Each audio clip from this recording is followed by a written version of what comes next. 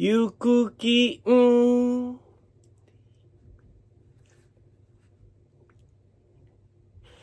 ーん、ある YouTube。はい。今日皆さんにご紹介するのは、かじるバターアイス。どんなん？え？北海道産発酵バターを使用したコクのあるバターアイス。バターのアイス何それ？バターのアイス？ス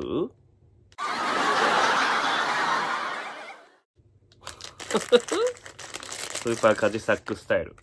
いただいてみましょう。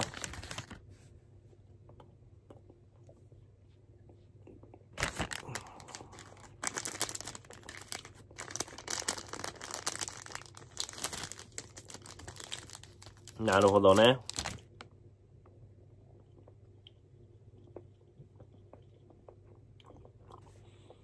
うん。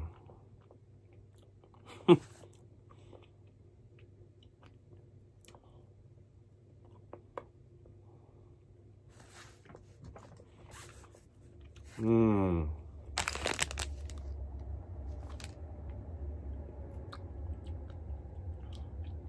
ツイッターで、バカうまいって言ってた子もいたけど。好みの話よ、僕の。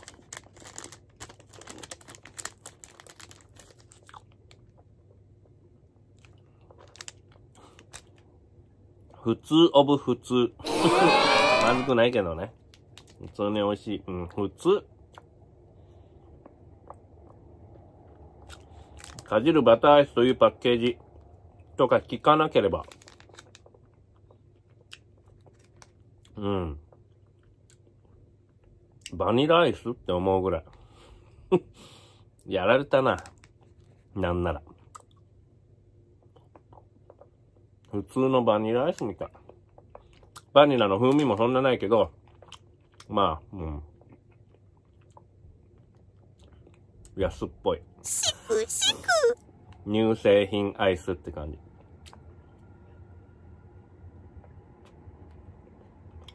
僕の好みでね。あんまりってだけだけどね。うん。好みは自由でしょそういうこと。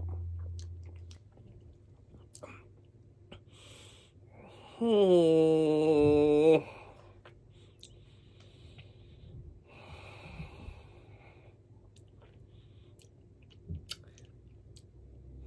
チャンネル登録、よろしくお願いします。